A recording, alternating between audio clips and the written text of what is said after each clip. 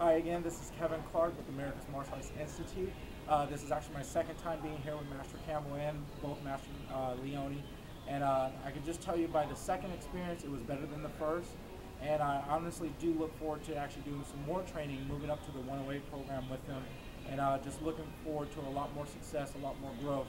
So if you are interested in doing the same for your martial arts studio or your yoga studio, your holistic practice, whatever it may be, I highly recommend that you do participate and don't hesitate. Just just do it.